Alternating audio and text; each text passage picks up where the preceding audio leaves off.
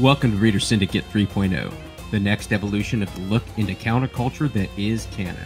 My name is Matthew, owner of Riot Seeds, and this started as a one man mission for strain history and breeding science. Over time, it's evolved into something bigger, better, and more of a team effort. We will be joined by members of the Can Illuminati and other friends throughout the seasons to hear their takes on grow techniques, breeding science, strain history, and more. Our mission is to combat the narrative that corporate cannabis and seed posers are obfuscating for their own financial benefit. Welcome to the underground. We are the Syndicate. Welcome to Breeder Syndicate. I'm Matthew here with my co-host Thousandfold, who's been absent for a few episodes while he takes care of stuff. Thousand, where have you been? What's been going on? Yo, yeah. Hi everyone. It's nice to be back. It's been a while. Um just, I don't know. It's not been that long, but it feels really long in It does. in the context of our show. Just because, Yeah.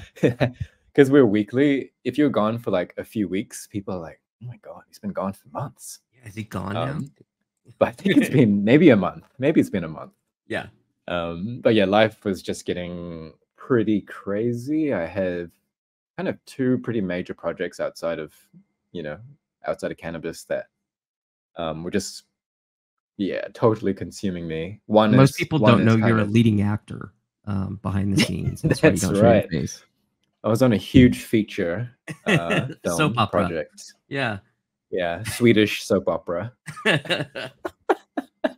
can see it now. um, but thankfully one of those projects is like winding up um so you know i could just feel like the mental space kind of coming back but yeah for a few weeks there i just couldn't even think about anything so definitely appreciate um you know matt taking over for a bit i, I saw that dan obviously came on for a stream as well which is awesome oh yeah. Yeah. um how was that show do you remember that that was was that Yeah. that was I think that was not ago? last week's but the week Yeah, two weeks ago. yeah Yeah, from when we're recording this currently, it was two weeks ago.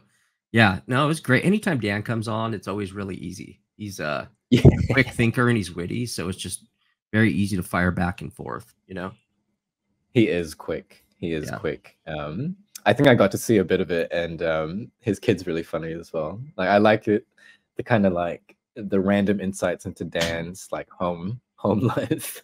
Yeah, I know that's great. Yeah, the chaos Um, of home life.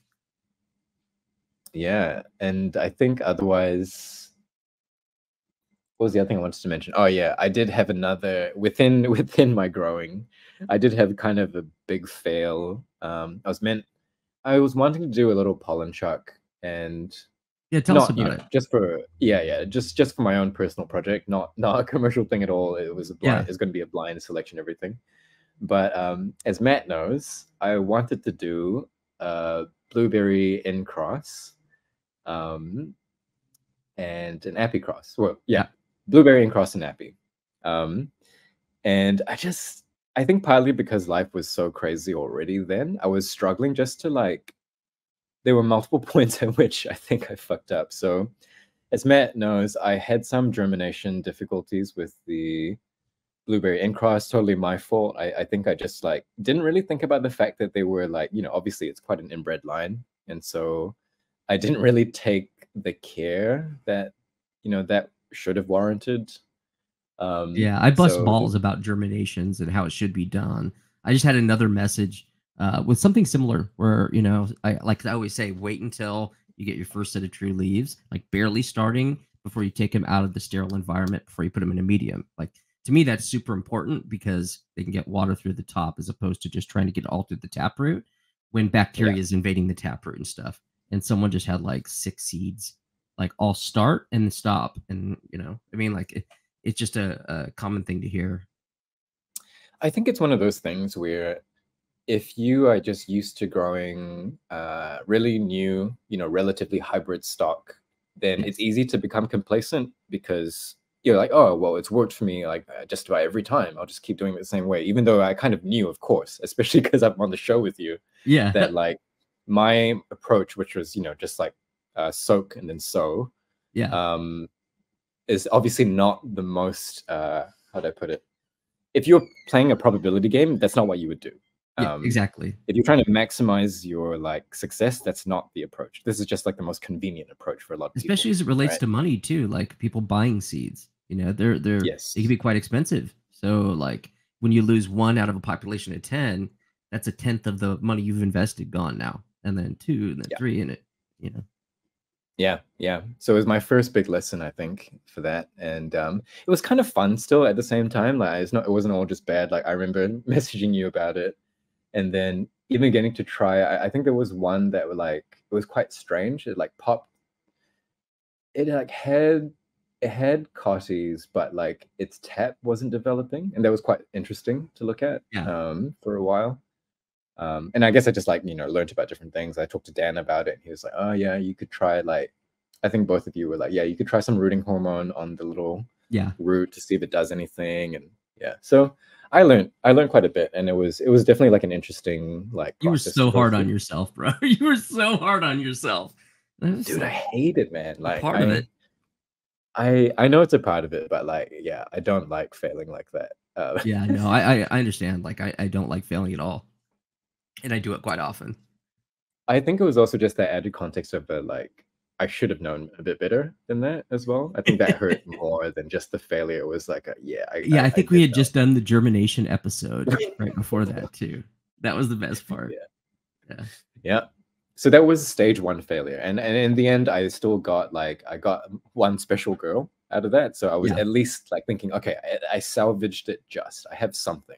Something. Um, but that wasn't the end of my fuck ups. Um, I so I had like five or six appies up, uh, in addition to the BB in cross. Yeah.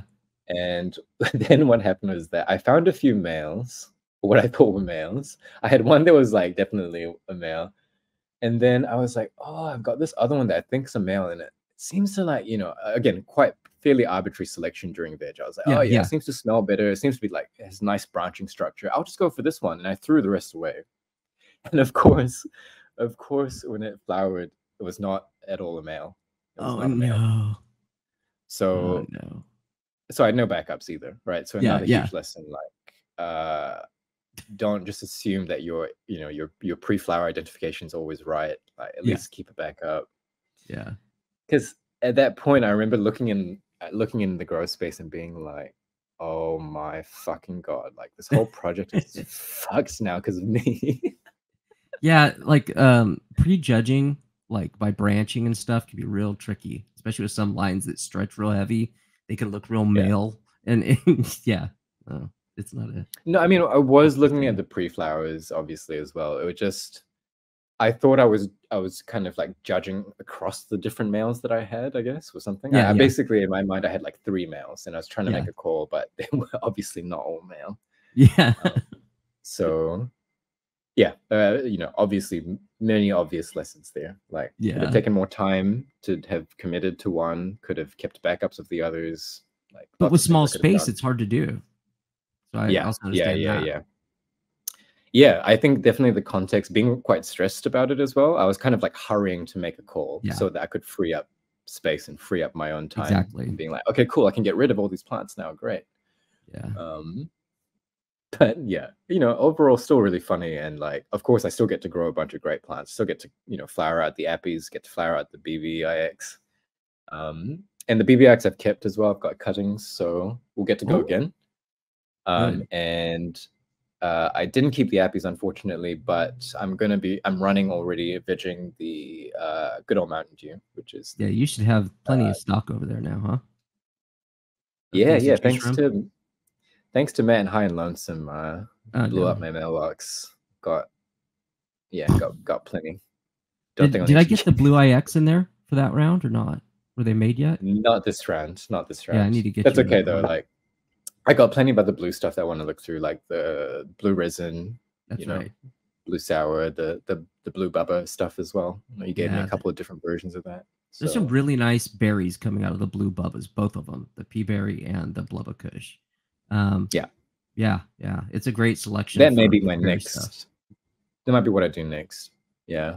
Yeah. Um, but yeah, otherwise, this current or this upcoming um, chuck is hopefully going to be that BB in Cross Girl and uh, an EB app email, and that will be fun. Are you sure you don't want to just jump into reversals before you even do that? Oh man, no, I, I'm Feel- like a little more. No, no, no, no, no, no. I don't want to add any more on any more complexity to this. I just want to make some seeds. Um, and just like, yeah, like I said to you, I think privately, like just really want to see what the process is actually like and go through Yeah. it. Um, and yeah, I think it's just one of those things I think we that you naturally want to learn as a grower after a while, right? Like it just Yeah. makes sense. Yeah, I mean, there's nothing more um i don't know satisfying to me than like having fully formed seeds and buds as you pull them out looking at the maturity seeing they're all mature and yeah, Yeah. I, I love that whole part of it watching new birth happen it, it's weird it's weird how maternal instincts kick in when it comes to seed breeding over time so even especially on your first time too though like that's Yeah. it's, yeah it's, it's it's it's a good feeling Yeah, and I mean, maybe this kind of ties into what we'll talk about a bit later on, kind of reflecting on some of these uh, conversations that you and I have had with the, especially the older forum guys. Like, sure I think one thing it reminds me of, you know, when I hear them talk is it's nice to remember that kind of feeling, that magical feeling when you first started.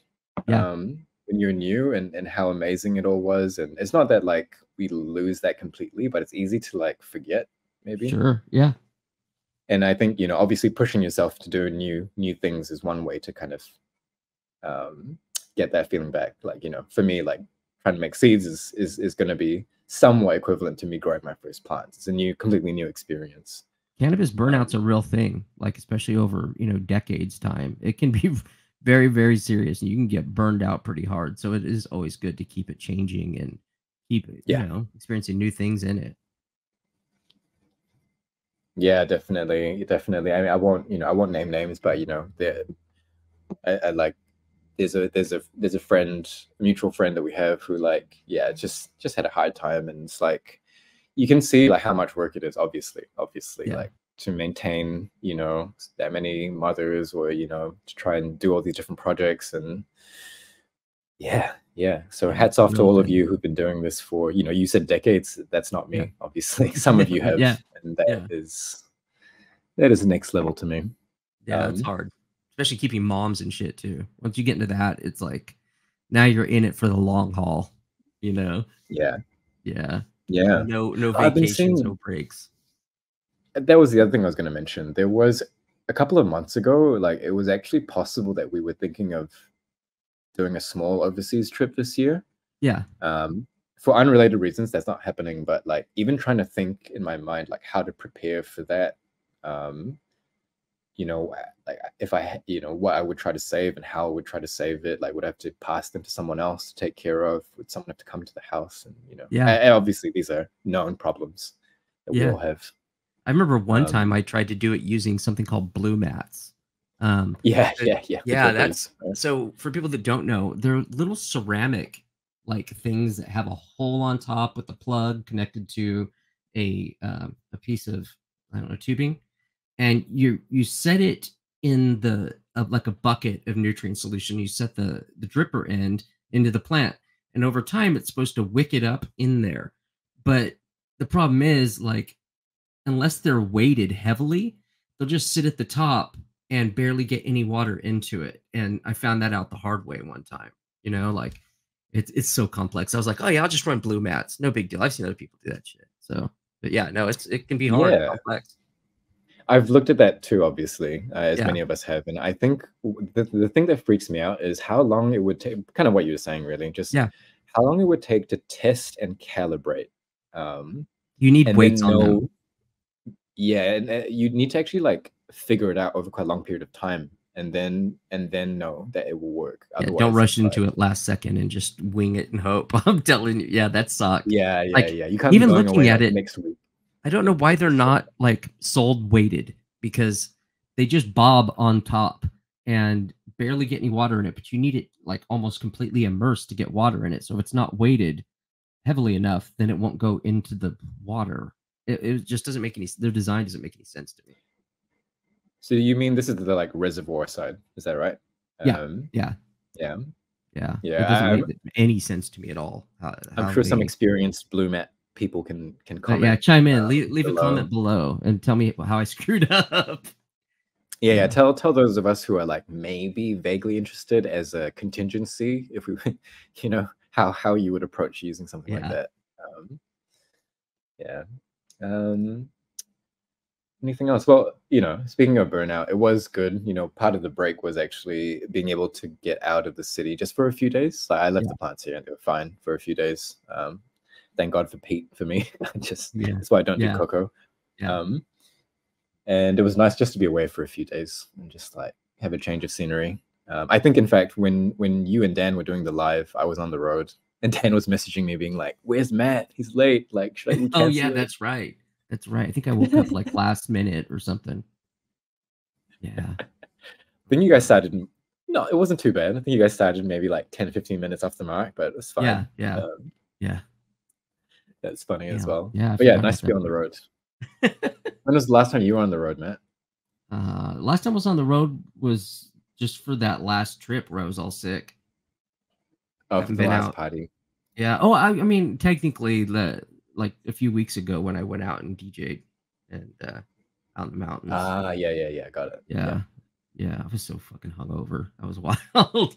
I don't drink anymore ever. Like ever. Not a beer here or there. So yeah. Yeah. Someone busted out peanut butter whiskey though, and that ended me. That ended me. There's like pictures out there of That me like snoring in my car, like "Ugh." That sounds like it would be nice for like a couple of shots. Or wouldn't you get kind of sick of that? Or does it like is it okay to keep drinking? I mean, it was delicious. to me, it was, so- it was sweet and delicious. I never had it before. This dude, uh, Steve, he had like a, a parka and like, cause it was a scooter rally out in the mountains for like Vespas and Lambrettas and old mod culture. And um, so he's wearing his parka and he opened it up and he had like all these little like airport whiskey bottles of all these different types. He's like, bah. So he's like, here, try this peanut butter whiskey. I took a sip and I was like, hmm, that's delicious clunk, clunk, clunk, clunk, clunk. And I had already drank some beer earlier. So that was just end the end of me, pretty much. But I was the last one standing, trying to get everyone to still drink with me. Yeah, there's no way I could like I, I I haven't I haven't really had a drink in a long time, and I think if I were to have like a night, I would be fucked for ages. Like yeah, it, it took me, I think I slept for like two days after that. I was just so hungover, so hungover. Yeah, not a fan. Hey, at least it was a change of scenery, I guess, and I'm Yeah. sure it was nice to see those people as well for you. Yeah, and I had a DJ gig the next week. Um, Going Underground Records here opened up their new location, and one of my best friends that I used to be in a band with owns it. So we did a DJ gig there the next, the following week, but that was in town. It was fun though. It was nice seeing everybody, like all the old homies, show up while we're just playing music. Yeah, that sounds nice. Yeah, I mean, I, I don't really like DJing too much, um, especially don't like being called the DJ because it has all that connotation with it. I just like playing music, forcing people to listen to the music that I like is is my pleasure, you know. Yeah, yeah, and it's a great service for those people. Yeah, yeah, I bet. Yeah, or some punk rock down the throat. yeah, I mean, I think for me that was I think that that that's like the summary of my time away ultimately, and um, I think I think today's episode will be a bit more of a rambly one. We, we're going to take it easy. we we've got a few different like mini topics to to discuss. Yeah. Um, and so I think yeah, we're going to talk about. Uh, well, Matt mostly is going to talk about the the uh, upcoming rescheduling of cannabis. Sure. Uh, and then we'll maybe reflect a bit on like the forum episodes, the, some of the releases, uh, whether you know Matt and I have, have are excited about any any shows coming up, um, and then we also have a bit of a like community question that we can Yeah. dig into for to, to kind of wrap it up. Um, but yeah, just a chill one today. Um, right. Yeah, Matt, do you want to tell us about the whole rescheduling thing? Yeah, I mean, like, first off, it it took me a while to look into because my immediate reaction when I hear about a law being passed that isn't voted on, I'm like, okay, who lobbied for it? Skeptical, what m- what money went into it and if we're not voting on it they don't do anything to give us more like rights on their own just for the good of their just out of the goodness of their heart. That doesn't happen with our government or or in politics ever. Like I know you didn't vote on it, you know, but let's uh let's uh, let's deschedule this. You know, like there's always a reason behind it. They always have agendas. It's politics. It's how it works for me. So I didn't really look into it much. Um, but I did, you know, enough people were asking about. It, I was like, well, I guess I should kind of look into this, you know, instead of just being skeptical. Um, so it looks like it's going to pass. I don't remember how long it's going to take to pass, but it's not necessarily passed yet. Um, there, there's like a 30 to 60 day window for people to like write in and like the DEA to comment on it and all kinds of other weird shit that goes on. Um, let's see. You know, you have different Republican senators chiming in on it, mm-hmm. Democrats, and the one thing I, I saw about an hour ago, they they uh, tweeted out that the DEA didn't sign off on it, which was interesting, and they don't know quite the implications of the DEA not signing off on it. So that's kind of an unknown right now. Was there something about the director not actually having been there or something? I saw a headline, maybe. Yeah, it, I don't. It, in the thing, it said it, they they don't know if it was like a stance of them not showing up to not sign off on it as like a fuck you, um, or if it was just like a matter of someone not being there. But it wasn't signed off on by the DEA, which leaves room for a lot of pushback from the DEA if they want to. And they can always be an issue, always, as they've always been, because that's what keeps them alive is drug drug war money, you know. Um, yeah.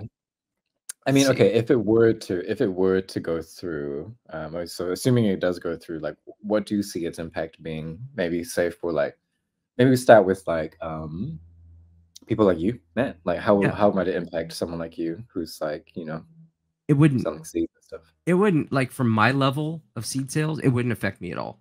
Like it's not changing plant counts, it's not changing um uh the ability to accept credit cards, it's not changing anything like that. Um there is some kind of banking bill that's slightly altered by it, but like this all goes back to licenses, licensing. Uh, yeah, the banking thing. Yeah. Yeah the the banking thing is a huge part of why the cannabis industry is having issues. Um, there there is some IRS statute. It changes a little bit, and I think it only changes it to the point of where you can like report like lights as taxable stuff. You know, like if you buy lights, you can report that as a write off. Um, and I guess that wasn't a thing before. I didn't know that, but I mean, I don't ever you know write weed stuff off because it just seems like playing with fire. you know what I mean? Um, but it's been interesting to hear like the different political avenues since you know we're a a, a Democrat and Republican only country. Um, there, there was a quote from a Republican senator here that said, uh, "Marijuana is a gateway drug, and Democrats' move to legalize reflects pro-criminal, anti-American policies that will stimulate more crime on American streets." He also argued that cannabis banking legislation facilitates an entire infrastructure and an ecosystem for more drug usage in America, which um, very, very 1970s, 1960s type rhetoric, mm-hmm. I'd say. Yeah. Um, but that's to be expected. I don't, I don't quite understand yeah. um, the Republican Democrat divide on this because they're both so money hungry for taxes eh, whether even though republicans say they're not like mm-hmm. they're as money hungry as the democratic side is for taxes it could be an optics thing for their voter base I, you know, am sure just to like play to what they perceive their voting base you know their values to be and like i don't know trying to make a bit more of a show of it but ultimately yeah. maybe still being like nah it's going to be great for for the taxes or like our i don't know yeah and the one thing i also read was that they wouldn't be able to it would take like light speed, unprecedented um, quickness for them to pass this before the next presidential election, which, depending on who's president next, if it's completely different administration, that could come backfire and refold everything and make this a totally non-issue. You know what I mean? Um, but at the same time, like I don't want to sound like I'm saying, you know, Democrats are doing something progressive for the cannabis industry. I don't believe that for one second. Like I think that they're doing it for themselves like for their own investments for their you know their sons and daughters who have these cannabis companies that they're investing in like that's what i think this is all about big money that's investing it's not to benefit um, any small time grower. It's not to benefit the people who have been pushing for decriminalization or rescheduling all these years. There's nothing that's going to benefit us like that. That's not how this works. Um, maybe asking an obvious question, but would it benefit like big industry players? Yes. Yeah, I think so in the end, but they, it, would, it wouldn't be like um like a collective owner. It wouldn't benefit someone like that. It would be big industry like Yeah. uh Mhm. like the, one of the top 6 marijuana companies on earth, you know, something like that that control a large share of the the money coming in.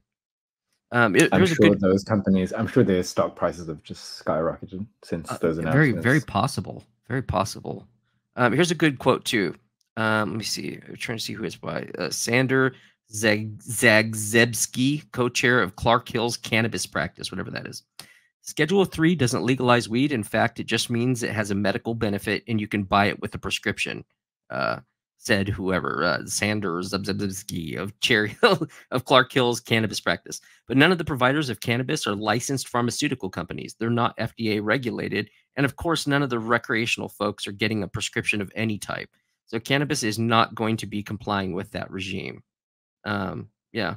The immediate impact of uh, rescheduling will be that the IRS Code Section 280E will no longer apply to plant touching state legal cannabis companies, and they will be able to take normal business tax deductions afforded to other industries. So that's like the main thing is that it's write offs, tax write offs and that's what tells me it only affects like the major corporations that are interested in that and that's probably who lobbied for this What about like uh individual consumers in terms of like uh I don't know, criminality and and what people could be charged with? How does that so so far they're not even like looking into as far as i'm aware like i was researching this like making it reverse charges of people already in jail like yeah, it's not really yeah, that touching or gonna affecting yeah. that and that's Yeah. disgusting to me um mhm. it's it, and again someone this is another quote this is simply ending the federal prohibition on cannabis for all purposes it will still be up to states to decide what legal what's legal within their boundaries so it's still up to states to decide and if your state's like a, Mhm. a more anti-cannabis state it's not really gonna like mess with that Change at all that. yeah Okay, wait. So can we come back to the banking thing? Can you tell me a bit more about the banking thing? Because that's like a separate but related. That's like its own act, right? That yes the banking um, act and so how does it? How would it be affected by this rescheduling, or how how are it, they like? it's not re- it's not it's supposed to be like optics and say like oh this is a good look for future like that, that they might change Oh, that in the future you know what i mean Okay, but um because of this, it yeah might lead them to change that. Okay. but even with that like you have to have the correct licenses and everything to even have that apply to you like you know you have to be one of the bigger companies that pays these big big bucks Mhm. to be able to play with banking systems when this does happen in the future um yeah it just sounds like a bunch Yeah. of chad Okay. and brad So shit from what I'm from what I'm hearing from you, it seems like for most of us and most of the people who watch this show, it's probably not going to change our lives. Or you know, no sorry, you the the Americans who watch the show, it's not going to change their lives too much. No, and to me, it does similar stuff to like Prop 64 was telling everyone that it made cannabis legal in California, and people just like, oh, cannabis is legal in California. Look at the U.S. It's so advanced with its marijuana laws, and we're like, while everybody else is like going out of business because we can't compete with big corporate cannabis. Like, it seems to me to be one of those things where it's like they can go, we rescheduled, you know, we're so Yeah. progressive, blah blah blah, Mhm. and it's just Yeah. nothing. It means nothing. Um, Yeah, it's cynical. Yeah. yeah, and and I'm always like very very biased on those takes, but just even looking at what like non-biased takes are on it, they all are saying the same thing I'm getting from it. You know, like it's not going to change anything um, unless you're a major player, and and it's not even going to necessarily go in before the next presidential election, which could mean that it's a non. It might be a non-issue that it'll get flipped off the second you know another administration goes in if they do, which I don't even know what to say about any of that. But yeah, I think it was interesting to me because it um, the announcements came around the same time that uh, Germany legalized, yes, um, and obviously that they're not the same at all. Or like you know, there's a huge contrast between yeah, the two. I think Germany's one is like yeah, it's not full decriminalization either. It's like no, legalization in the sense that like uh, you know, as an adult, you can carry up to X amount, right? Something and like have that. Uh, X amount of plants, like two or three or Yeah. something weird. Yeah. Yeah. yeah. Yeah. And it's it's wild to see people's reactions to stuff like that in Europe. Like, um, you know, like I, I mess around in the UFO world a little bit. So I was I was in a chat room over there uh, for a YouTube show, and uh, just a random guy in there was talking, "Yeah, congratulations to us. You know, cannabis just legalized in Germany. We can grow one plant or whatever it was." And I was just like, "Oh man, you don't even realize though. Like, you don't even know how bad this is. You're, you're it's just, it's, I don't know. It's such a negative take on all of it, but it's just, I just see the fallout 10 years from now that they're going to be like actual cannabis producers, not just consumers, because consumers don't seem to ever recognize the part that like how it affects the growers and will affect what they get to smoke on the back end of it. No.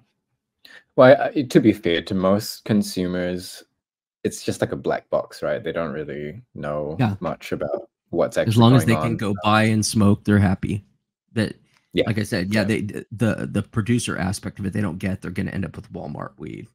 So and try and explain that. It's like just Okay. you know. I'm looking at the I'm looking at the law. It's if I'm not mistaken, and someone obviously feel free to correct me, anyone in the comments, but uh, for an adult, they can carry up to 25 grams, which is about an ounce, um, and you can grow up to three plants. Three. Yeah, that's what it was. Yeah, Yeah. So think about how much great breeding you can get done with three plants. It's very hard. yeah, Very hard. Yeah. So how how are these like all the best breeding that's been done in our in the cannabis scene in America has been done clandestine.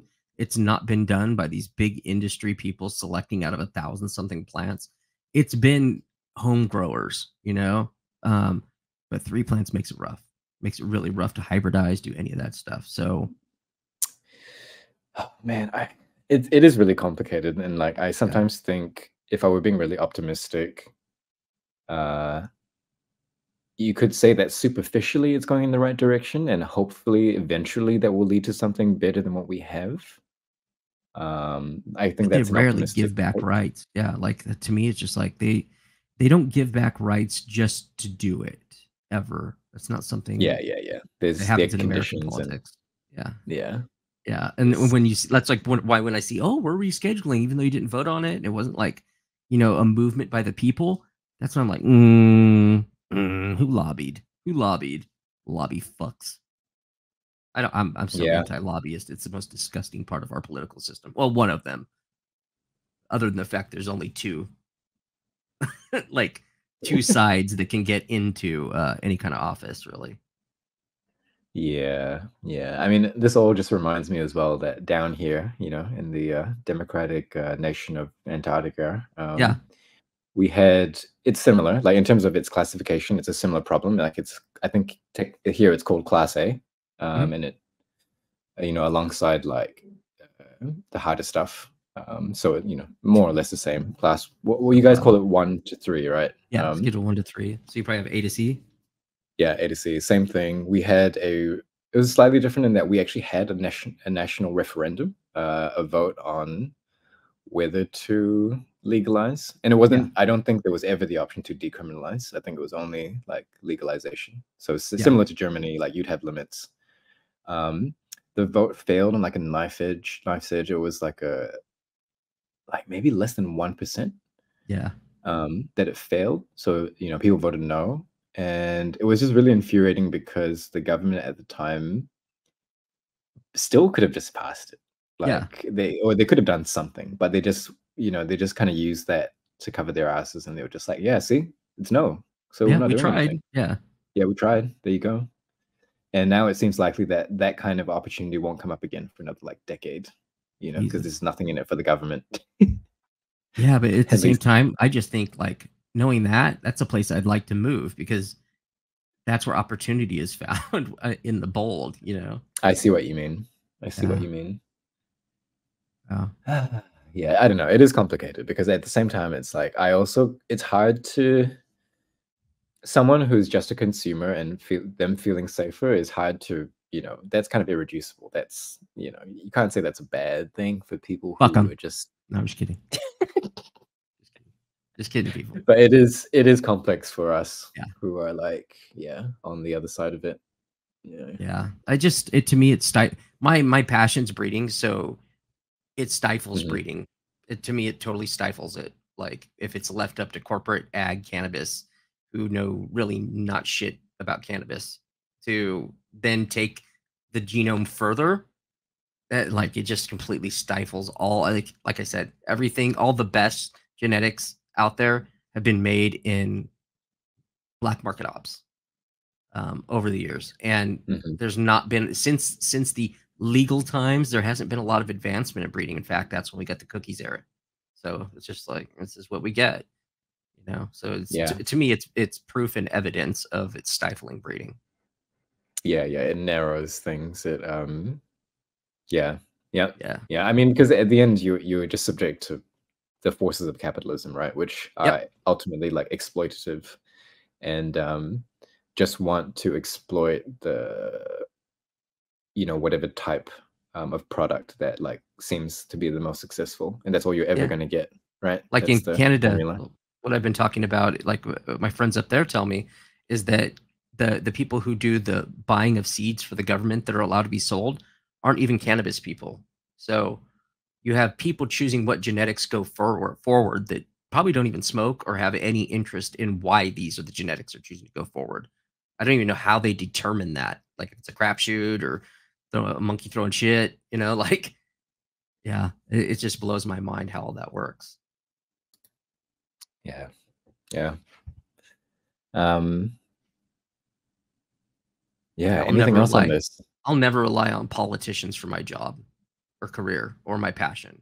Like I, I've tried to make this such a non-issue for how I exist and live that I could give less of a fuck what's going on in the political world. It doesn't affect me and it never Yeah. will, I don't think.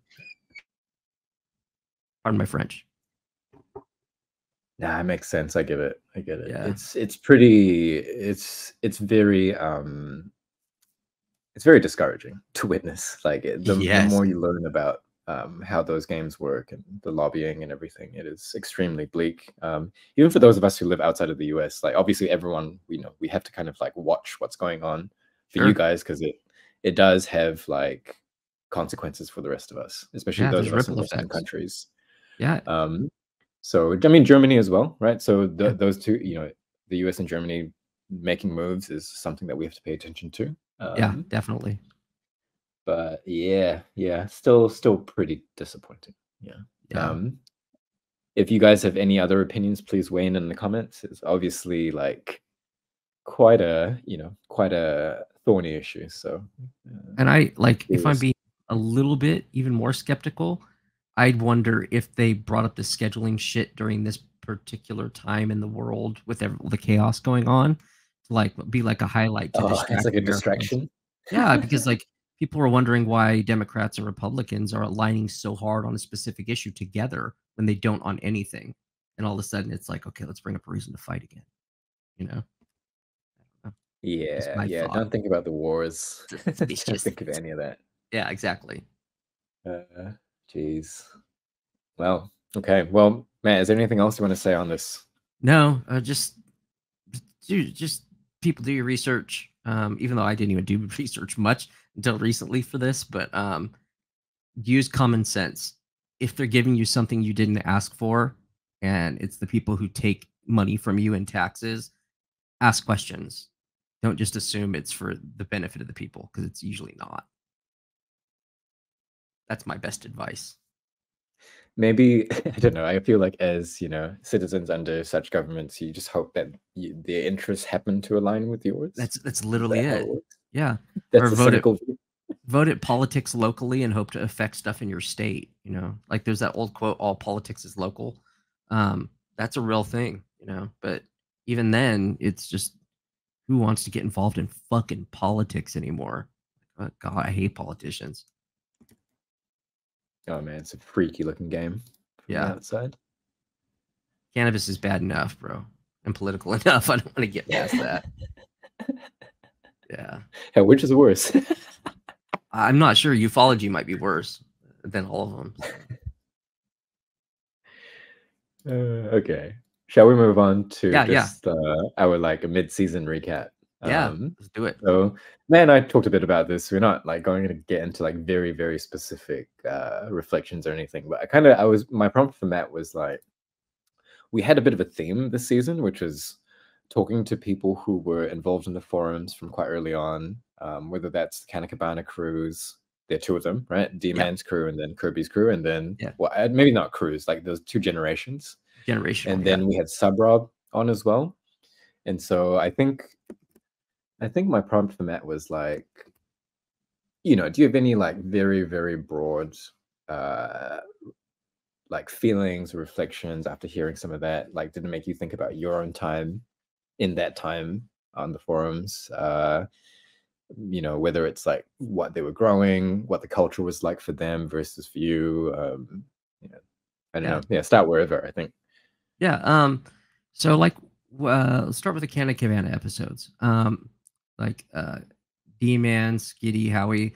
Their generation was the generation before mine on the forums. Like before I started getting Yeah. really involved. So Mhm. it was it was things like that for me are always a treat to hear when people that came before me were integrally involved in stuff that I was involved in later and hearing like different because not everything's literal or not everything's passed down correctly. So you get to hear all these stories about how other things happened. And I don't know, like that, those are some of my favorite shows to do is interviewing the people who came before me and were just as passionate about like seeds and genetics as I am. That's Mhm. the kind of stuff that really, really, really interests me. Um, I think it also, when I hear them and their stories, it obviously makes me imagine what it would have been like to have been them, where it was like an absolutely new frontier of like Yeah. communicating about this stuff and just like, you know, um, uncharted territory, right? Yeah. And like the idea to pass cuts around and hold them and get them out to people on forums and stuff like that wasn't being done before these guys. So, I mean, eh, th- there were small pockets like the 77 crew and stuff like that, but it, generally speaking, that generation of guys, um, it really wasn't being done like that before. So, it really, really built the whole industry as it was to carry on.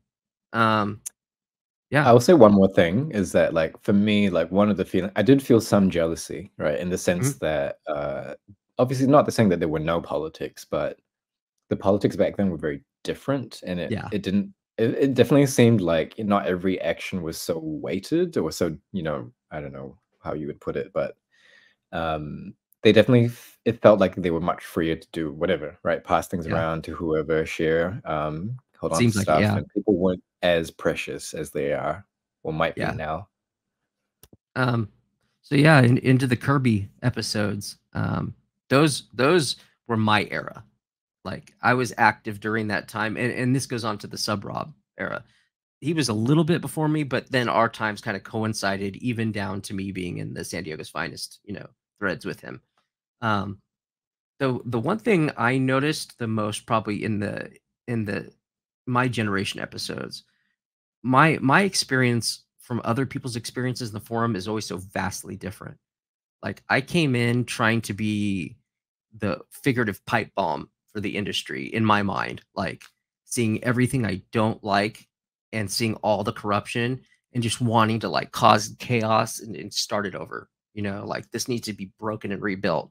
There's so much Revolution. corruption just inherently in here. Some, like a, a revolution of sorts. Like I'm an idiot. So like I really thought I could do this shit, you know? Um, in doing that, I was banned from every forum that existed at some point other than my own, you know, like maybe, yeah, I don't think there was any that I didn't have some sort of temporary ban from. So, well, well, these guys were, you know, like had a lot of camaraderie and stuff on the forums. I had some of that, but not a ton, like not a ton. I was very much a rogue element. Um, Mm.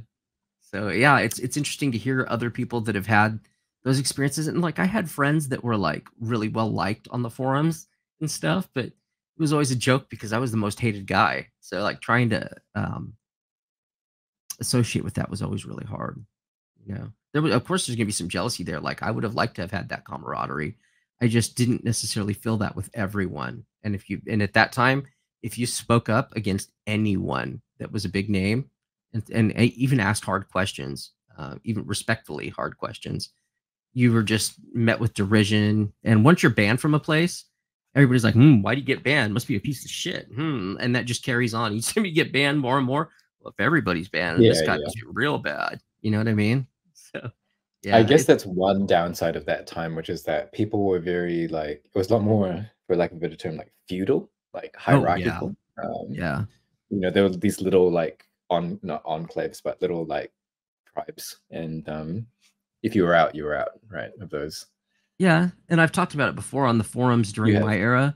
That like okay versus uh like the D-Man era, there was one main Heaven Stairway seed bank where you got to go do this stuff, and you know Overgrow was attached to that that forum. But during my era, every single forum had a seed bank attached to it, and in in doing that, if you spoke up against any of those breeders on there, you're ixnayed and blacklisted from that forum, and all the you know like all the dick riders that go along with that on each level.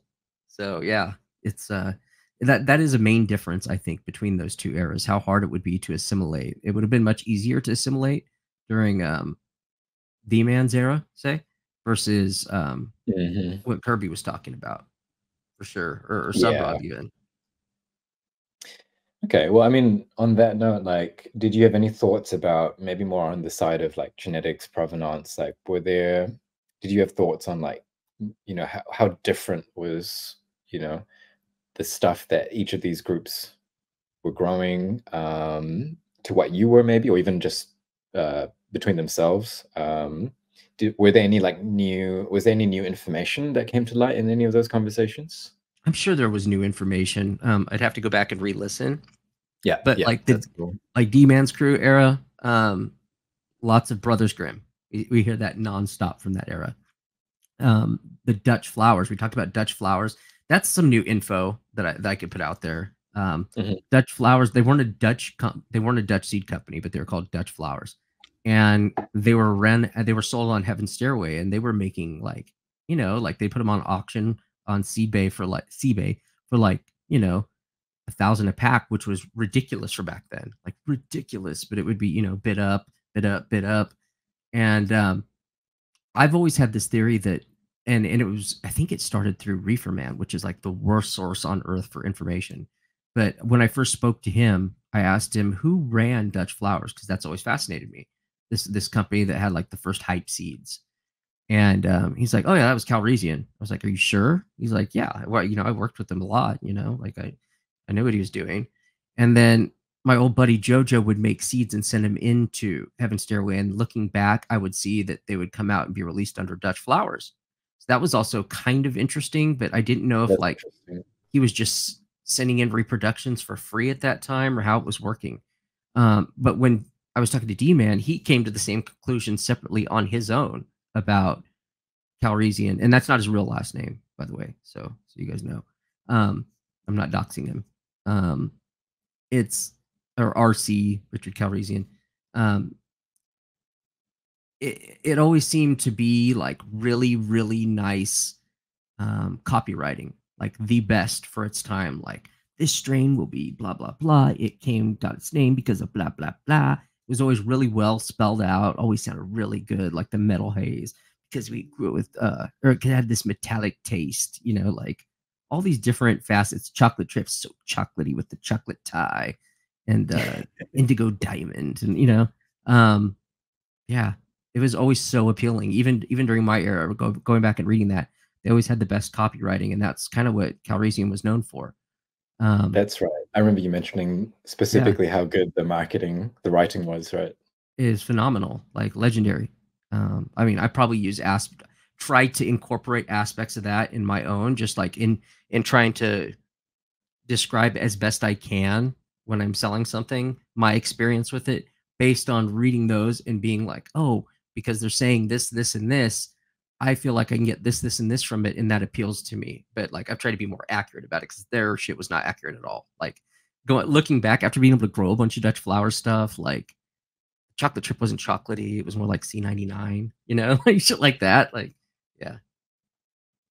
I don't know. Uh, it, that's Mm. that's one of those parts of um, history I'd like to really, really pull the thread on is RC and his his business because Heaven Stairway was so legendary and um, he's still out there. You know, like the guy's still out there. I and I know where he works, and it would be nice to interview him. But like because he went through so such a big process with the courts and shit, I don't know if that dude has PTSD from it all, or if he even wants to speak on anything. It would be great if he did.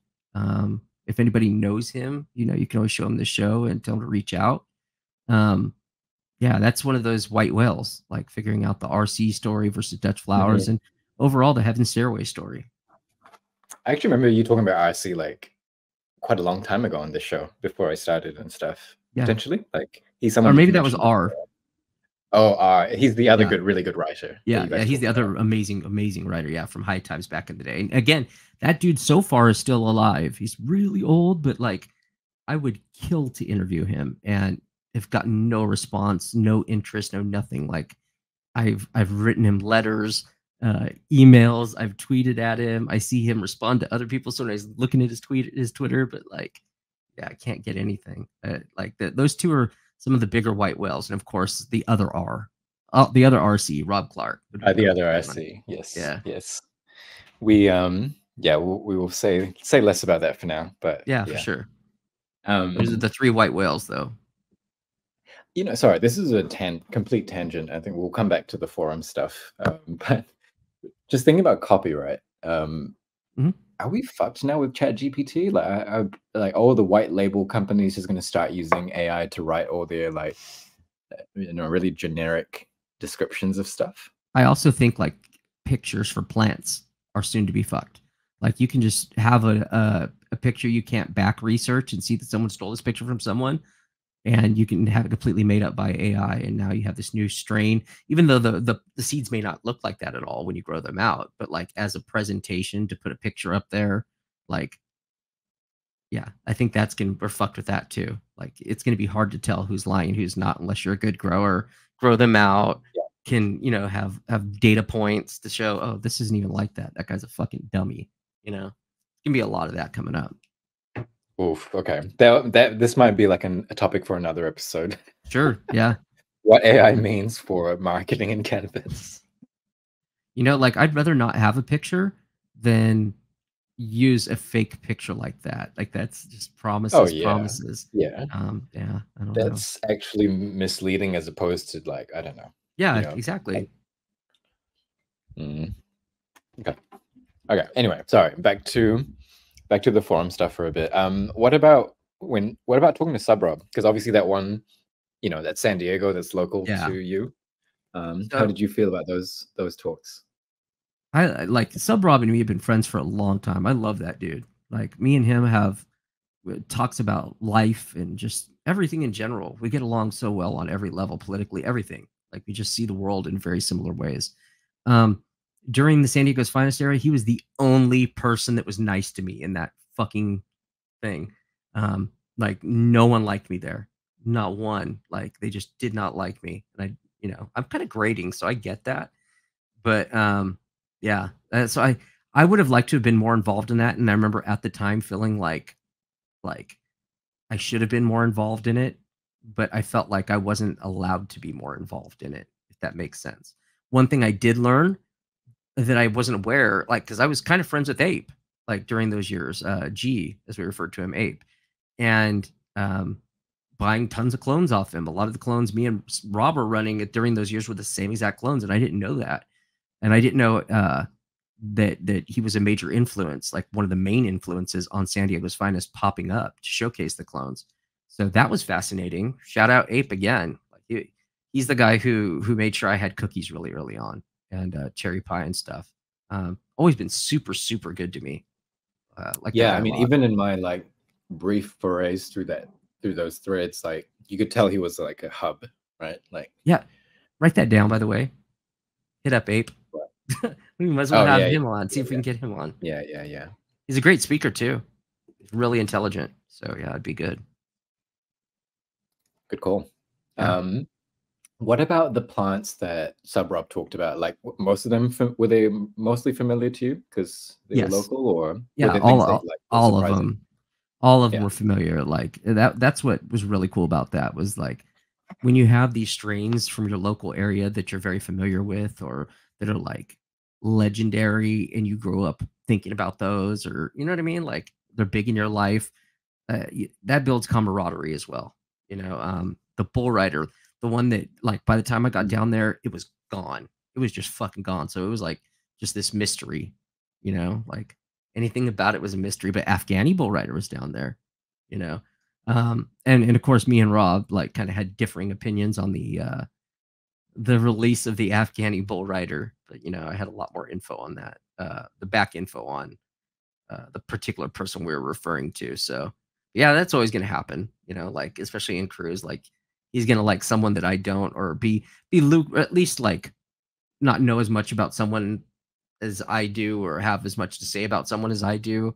Different experiences that happens a lot. Um, yeah, that that tends to happen when I talk to people that were around during a certain era. I'm like, fuck that guy. You know, like, what do you mean he's okay? Fuck that guy. That happens a lot. So yeah. One thing I didn't get the chance to ask him in that first episode was like what's happened to those that group of people now? Or whether he's still in touch with them or Oh yeah. like still does stuff with them or Um, like one of the main guys was a guy named Gray Skull. I mean, I'm still in touch with Gray Skull too, but he's moved on, I think, from cannabis now. Finally, um, I don't know. I, uh, uh, I'll keep it vague on that. But yeah, he's a great dude, though. Everybody, all those guys still talk to each other. I think they're all still really close. Grotech, Sub Rob, um, Spicoli Shankron. Um, yeah, That's all those guys are still really tight. And there's more. There's more. Sorry, guys, if I didn't name you, but yeah, there's a lot more. Um, Josie Wales, of course, no longer with us. Um, uh, he was part of the Gorilla Glue four four crew. Um, Ross, same. So Yeah, I wonder if um in those uh, in those shows it was it was clear enough to some people who are newer like that some of these guys were actually directly involved in some of the biggest you know things that we have now like Gorilla I- Glue for example. I know one thing we wanted to cover that we didn't get to was talking about um, HPLV and the fact that like on San Diego's Finest, Mm. that was one of the first times it had popped up, like people talking about it. And it was Gray Skull talking about the sour, uh, no, the Gorilla Glue four, I think, or sour dub, one of the two, um, being quote unquote dudded.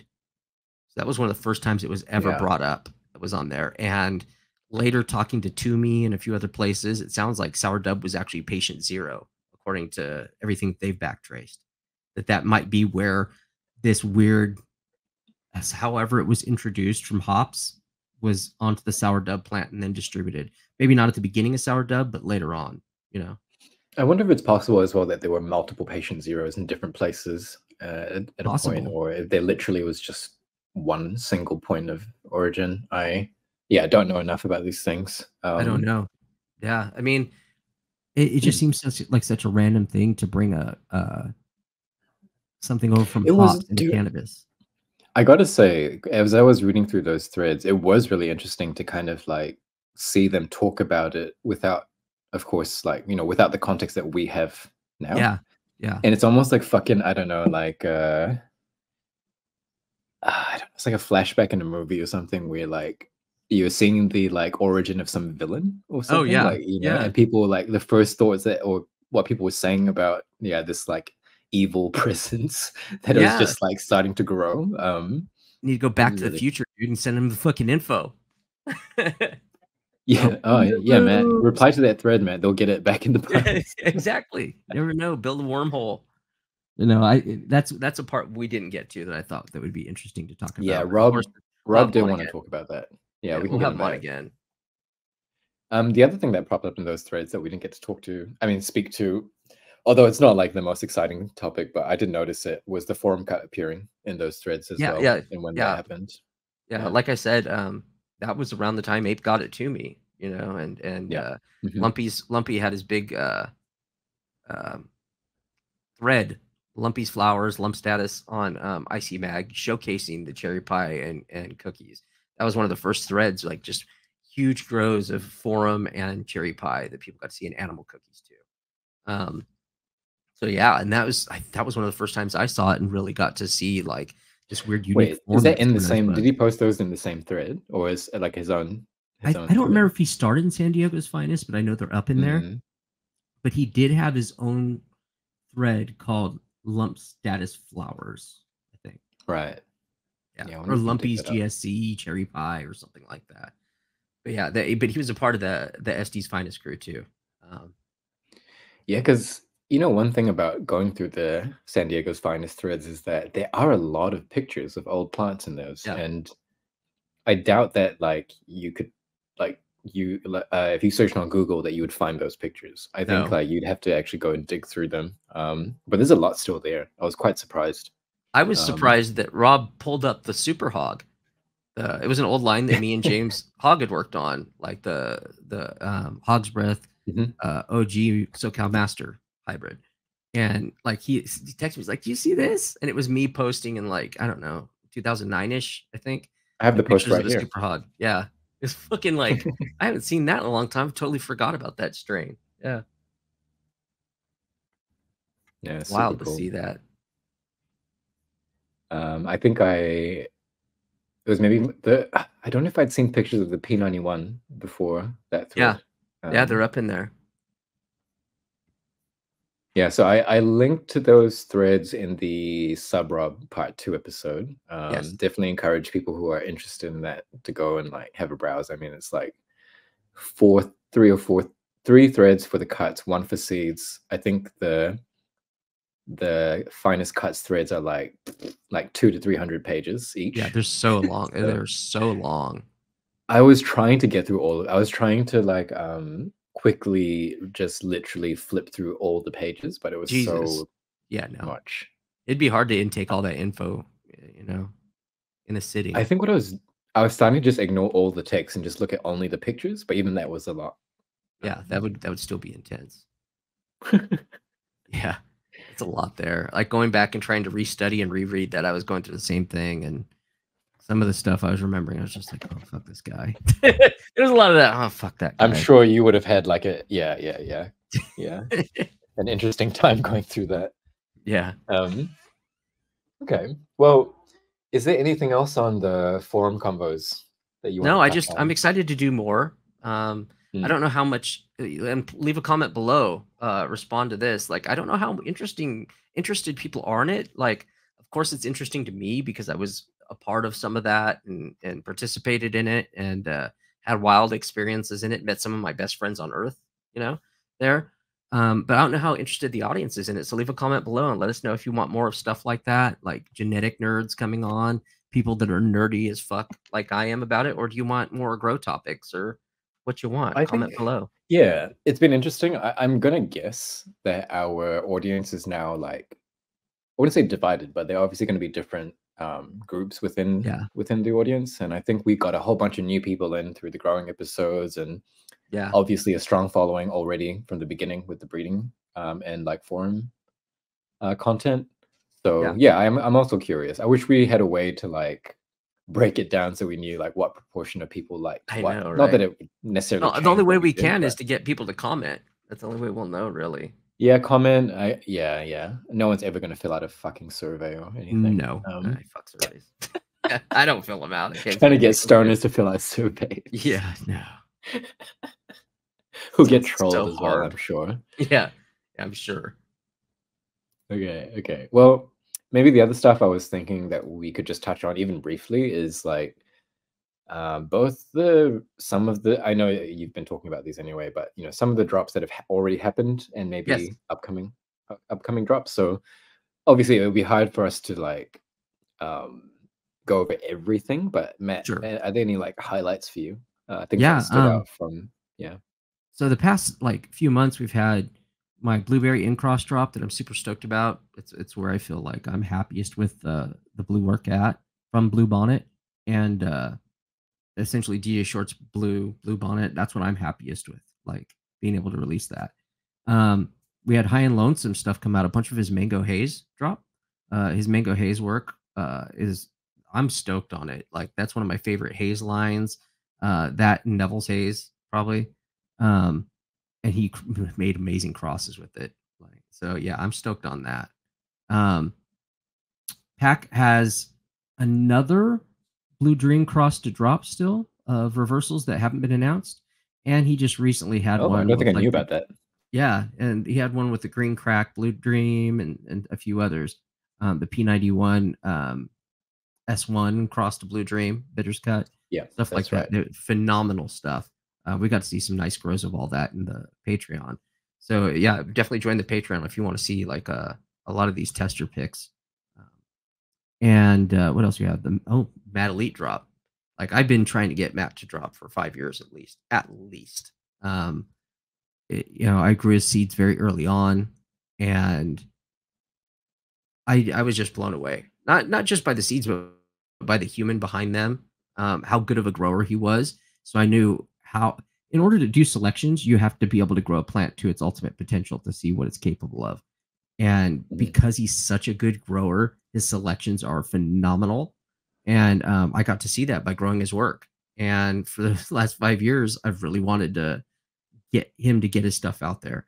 And he's just a very, very much like uh, Bodhi in a sense, like just very kind and doesn't like drama.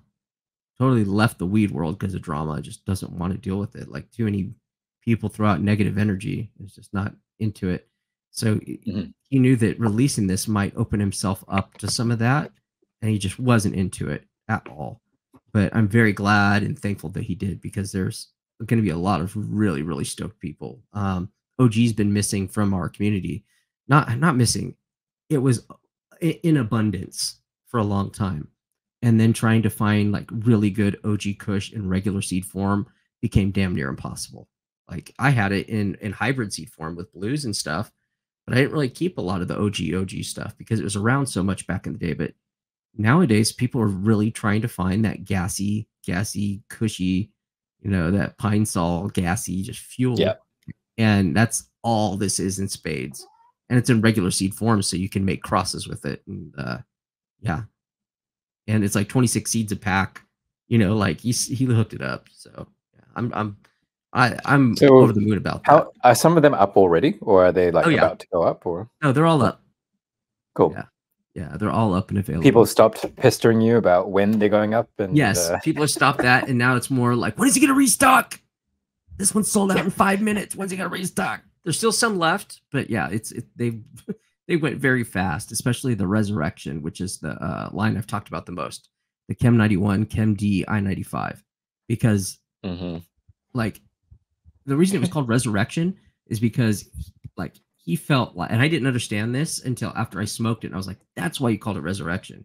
It was like Chem 91, but just with the terps turned up to, I don't know, just a, a ridiculous amount. So you can smell all those, the back smells that you'd smell in the clone of Chem 91 that you'd be like, man, that would be really nice if it was, you know, a lot louder of that. And it was just like all those scents turned up. And um, it was like resurrecting that old clone to be what those guys probably smelled when they first grew it. Um, that line's perfect. It's absolutely perfect. So that sold out like I think even less than five minutes, like minute. You know, it was That's gone. wild. Yeah. So I don't know. I was stoked on it. I was stoked to get his It's stuff cool. back out there. Yeah, Yeah. it's nice to see that um, you know he got the message out, and people are definitely very, very eager Yeah. um, for it. I love that guy too. So it makes me happy that he can. Because the other thing was, he's like, yeah, nobody wants this shit. Nobody cares. And I'm like, for years I've been telling him, dude, you don't know. You don't know. I promise you, you'll be surprised. And of course, like when things sold out, he's like, God damn, you know, that's shocking. But yeah, shout out to Matt. Uh, yeah, and I hope uh, H&L doesn't mind me saying this, but I feel like H&L also has been like quite really like self-deprecating about his, Uh, he his own will be. work, and I'm like, why are Yeah. you like this? Why are you so jaded? I mean, Yeah. at the same time, I'm like, I also know why you're so jaded, but he's just you know. very humble farmer guy. You know, that's just Yeah. him. Yeah, him and Matt Elite are very, very similar in a, in a lot of ways. Um, and, you know, to be fair, like I know what it's like to have been working in a space for a really long time. It is it is easy to get like you know disillusioned or like Yeah. just feel a bit like meh about the whole thing. But his um, attitude is more like, eh, just seeds. You know, like that's just it. It's just seeds. You know. But yeah, I think uh, the mango haze stuff will get a great reception. Um, I'm glad that most of the people buying it aren't people buying off of hype too, because mango haze isn't like something super hyped. It's people that want to have a haze experience that understand mhm, what a haze experience would be and what it would entail to grow. That it that it'll be long, lanky. You need to grow plenty of it to find a keeper. people understand that that are buying it. So that's I think that's super important too. Like lines can be received well and or ill received based on who buys them. Like if you're not educated on haze and you're buying it, you probably won't be stoked. Um, you know? Yeah. Yeah. Like I'm buying sto- it I for mean, like, commercial. You know? I think, and I hope I'm not mistaken. I'll have to go check again because you know you guys sent me so much stuff. But I think he sent me dog shit. You know, EB mango haze. You might have. Um, yeah, I hope I haven't gotten that wrong. But that that seems kind of fun. Yeah. Makes sense. Mm. He also had um freebies. I think it was uh hmm, what was it? I can't remember what the female was, but it was crossed to Cough Vietnam Black. So like an NL5 haze Oh yeah, I in there. vaguely remember, but Yeah, not I not. can't remember what the, yeah, the- precisely the enough. female side was. God damn it! But yeah, no, like it, I remember looking and going, "Fuck, these are the freebies. That's fire, fire, fire, fire." So yeah, Guys, grow some and send Matt some. yes, send me some smoke. Or except Matt can't smoke any yet. oh yeah, I uh, yeah. Send me some in eight months, whenever it's done. Fuck. Oh man, I am Yeah. impressed that you've. I mean, at the same time, I, I gathered like this in a miserable just, like how bad it was, how bad it was that this is what you're resorting to. Um, Yeah. so I also It was- appreciate that. I I- it was a miserable experience um, going through cannabinoid hyperemesis syndrome. But this is a miserable experience because like I I have such bad anxiety all day and I really was using cannabis to cope with that and dabbing. Um, and it really I don't know if it I, at the time I felt like it wasn't helping that much, but like looking back like being sober all the time it definitely made a difference. And It does. it's a major life change. And I remember thinking like uh, during the time when I was going through all the throwing up shit, like thinking like you know slowly coming to the conclusion that maybe this is CHS and that I would have to stop for at least like a month to figure it out. Like thinking that it would have to be the last resort in my life to ever come to that point where I would quit smoking for a month full to even find out, just to find out. And I was able to do it from the jump and never went back. Like I never re, you know, I don't, I don't know, it, but it sucks. It sucks ass. I cannot wait till time's up and I can start flooding my receptors again. Sobriety Maybe sucks, fewer bro. dabs when you come back. Yeah. Yeah, I'm not going to dab anymore. That's one thing I'm not going to do is dab. Um, I really learned, like I I I have a, a hard time as a like a former addict, and like I'm I'm an addict at a lot of different things in my life, whether it's food or you know how I spend my time or interests, how how OCD I get about stuff. Yeah. Yeah. That- Compulsive. Yeah. I I don't realize when I'm being compulsive about stuff. So like dabbing could be a real issue. So I'm just not going to do it when it uh I'm able to smoke again. Flower, I think I'll be fine with just flower and won't have any more issues if I go Mhm. through this whole process and really do um, clean my receptors out. Yeah. Yeah. Okay. Well, um, is there anything else you wanted to highlight? Otherwise, we can move on to squirrels. This like this moved on to squirrel's question. It was a good question. I mean, what do you? So you have a read of it. I think you've got the, Mhm. the, the document on your screen. Um, Yep. What do you? I'm not. Ent- I'm not hundred percent of uh, on how to approach this. I'll leave this to you. I think. Like, what? How do you interpret this question? Um, he, he was asking me to break down how scammers inflate generic terms over promising traits. So I think I've talked about this briefly in different aspects and different respects to different yeah, lines. we've touched on it in diff- many different ways. hmm but um, like you said, for example, like ABC, sour, haze, NL5, um, uh, three different lines that are notoriously hard for line breeding. So, trying to breed certain. Okay, let me let me rewind it back. Let's say you have a line, and you grow out a thousand plants, and only one of those plants has that expression and you grab that plant to breed with it, right? If you then cross it to something else, you you wouldn't expect to see 50% of the population to be that because in its own population it was recessive. It was very rare in the line. If it wasn't recessive, it was just very rare occurring, you know. Um I think that's what he's referring to in stuff like this like haze itself has tons of different expressions. So promising like a haze IBL is hard. It's very hard to do. Uh, it would take many years of breeding a haze in a certain direction because it's a a like one of the first polyhybrids. Um, things like ABC, uh, a trait that isn't locked in until you're in the F4 generation, roughly F3, F4. So you're starting to see true breeding traits of that uh, ABC type. Like having a, a one-off ABC hybrid would be more hard to find that, you know. Um, what else do we got here? Sour. Now, sour, I think, can dominate in looks more often than it does in terps. Sour has a particular mm. look, so when people see that, they think because it's a very distinctive look. I've got it. Yeah, they yeah. think we've got it. They think we got it for sure, but that's just one trait out of everything that comprises sour. Um, that burnt rubber nastiness that in sour isn't necessarily going to show up with that trait, the the look trait every time. So I, I think that's kind of what he means by this. Like we've seen a lot of sour different iterations of the generations and whatnot, but like in um for example karma sour like there was a lot of just mostly og in that it looked like sour but it was a lot of og terps um mm-hmm.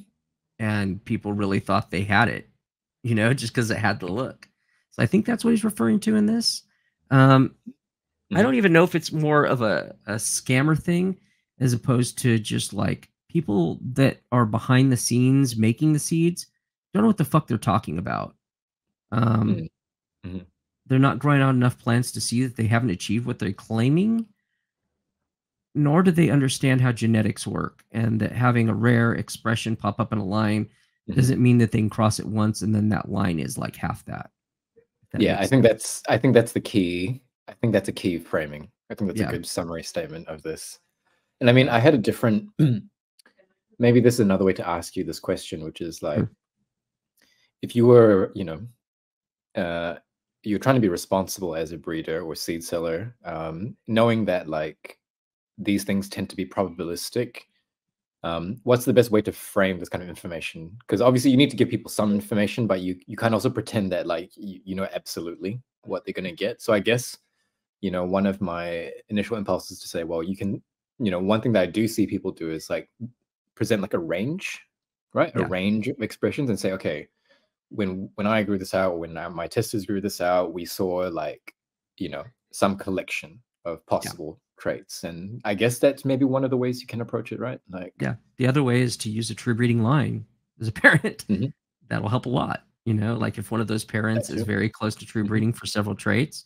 I mean, that's why again why I didn't move on from bonnet forever because it it's a true breeding line. Like it re- regularly and reliably kicks blueberry terps and it has a very yeah. specific look it has specific resin pattern type that it breeds true for in the sense that it in almost everything it's crossed to it'll occur more regularly than its partner in that sense mm-hmm. um, that makes it so you can say okay you can expect to see berry this this that you know like three different main expressions that helps because yeah. it, it brings some right. accuracy um, but the other way, yeah, is to just explain the different ranges, the the different be be realistic about the flowering times too, because a lot of people are not realistic about flowering times whatsoever in their descriptions. Yeah, it reminds me. Didn't we? Did we not do a show where like we actually looked through like some seed websites just to see what the marketing was like? do we actually record that? I don't. I don't remember. think we did. Um, I don't think we did. Probably so should. I, Maybe we did. I was gonna say that like another time we could like we could pull up a website in the background and actually show people who we're talking about just to like, you know, not ruffle too many feathers and like maybe like just comment on like the way that the information's being framed, stuff Absolutely. like that. Uh we can do yeah. that another time. I think that'd be fun. Because I think that'd be a nice experience. It would be funny. It'd be very funny, I think. I Make lots of friends. I'm so sure we did it. I, I feel like I have a memory of you and I looking at, say, like Barney's farm website I think we did. You know what? I think we did that for just like a few minutes of something, but not a full episode of it. It would be interesting yeah. to go through, like, open up the attitude. Let's go through the yeah. list. Mm-hmm.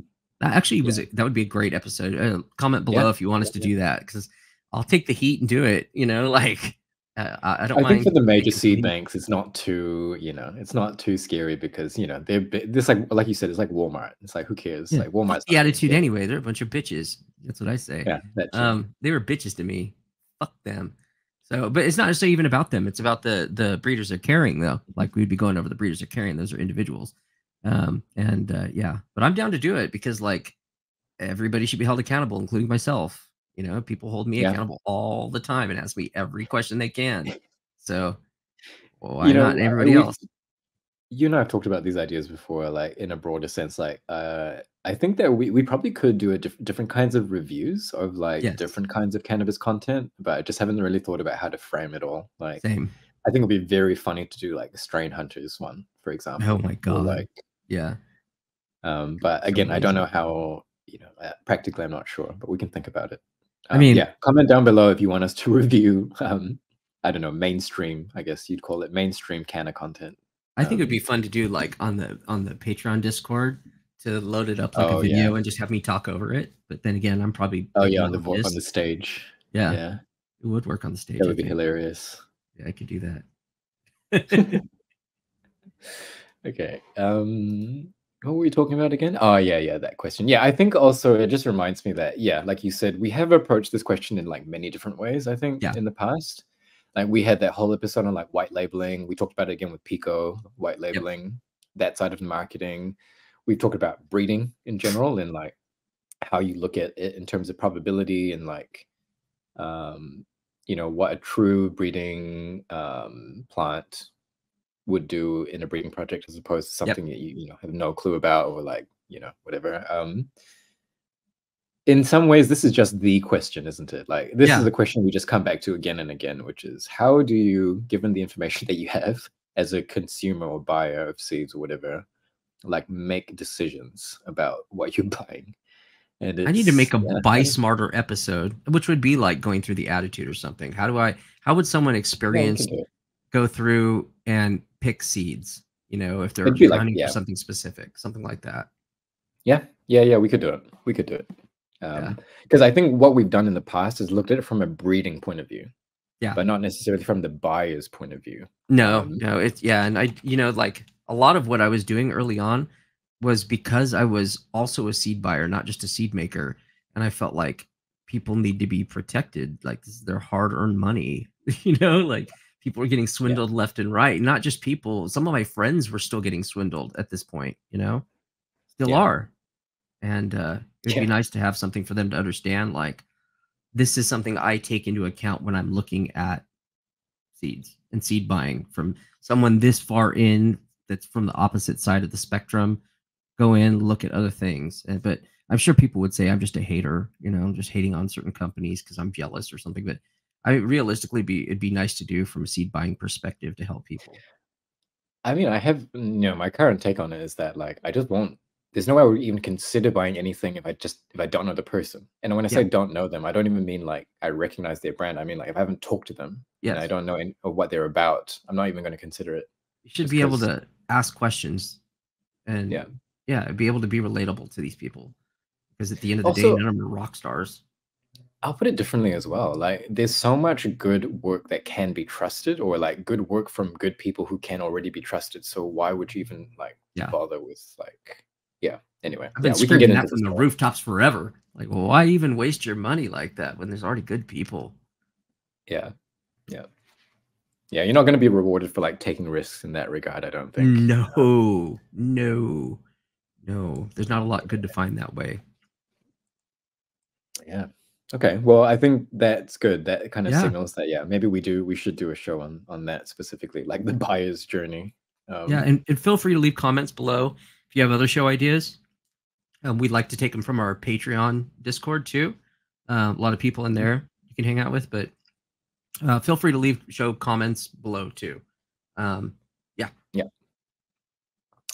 man, I think that's us for today. I think Yeah. we like can keep it pretty cute. Um, wrap it up in a package. Yeah, yeah, little bow, little pink bow. that's right. All right. So uh, I guess uh, you have anything else you want to say? Not really. This is nice to be back. Uh, feels Yeah, very, glad to have you back. you know, feels very familiar. It wasn't hard at all to slot back in. So yeah, nice to be back. All right. And with that, um, go check out riotseeds.com for all your seeds and spray needs. Um, we have stuff to make feminized seeds. There's a bottle behind something over there that's hidden. Um, Uh, we carry seeds from all sorts of breeders in our crew. Uh, like I said, High and Lonesome just did his Mango Haze drop. Pack has his Blue Dream stuff up and his Train Wreck stuff up. Uh, Mad Elite seeds, there's still some left to get. We have my Blueberry and Cross drop. Uh, Miss Jill has her seeds up there. Sub Rob has his seeds up there. The Skank Dog mm-hmm. and the SSSDH. Um, I know I'm missing some, but yeah. Anyways, go check them out. They're great people. They're up there, and all these people are accessible, whether it's on IG or the Patreon Discord. All these people you can talk to and interact with, and they'll talk to you about their lines. Um, then we have, uh, of course, like I said, our Patreon Discord. Go check it out. Uh, Patreon.com forward slash Breeder Syndicate. It's uh, $5 a month. Uh, for the cost of a coffee, you can have a lot of benefits. Uh, 30% off me and Pack Seeds, um, or High and Low. I'm sorry, Access. Goat Farm. Just yeah. Info, people. Access to community. info, people. It's a great, it's a great fucking community. And when, like in other communities, there's always trolls and shit. This one handles itself I mean, it's pretty self-policing. If someone doesn't fit in and they're just being rude and and hurtful, they don't last long. So um, I really appreciate it. I never thought I'd see it grow to what it has. Um, by a lot of that's a thousand because like it it really really turned up. Um, yeah, I'm proud of everyone there. And uh, yeah, I think isn't that it? Did I cover it? Oh no, go check out um, lifted liftedseeds.com, lftdseeds.com. Um, Riot Seed Co. Europe for all your Riot Seeds in Europe needs. Gert by Seeds for all of your what would you call that part of the world? Southeast. You, I think uh, you'd say like Oceania, but people don't know that term. Just Oceania. say Australia, New Zealand. Yeah, yeah, yeah. yeah. Australia, New Australia, Zealand. New Zealand needs uh, Gert by Seeds on Instagram. And uh, with that, yeah, that's it. Cheers, everyone. Thanks, everyone. Want to sit at the table with the syndicate? Check out our Patreon and our link tree or description below. Our merch site is officially live. We have all sorts of shirts, hoodies, and goodies to sort you out, and shipping is super fast, and most importantly, the quality is top notch.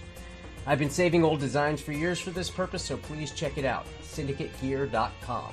We also have an underground syndicate Discord where we get together and solve old strain history together daily. It's an amazing community of learning away from IG, and it's an amazing resource for old catalogs and knowledge. We hope you join our union of breeders and growers. Come check it out.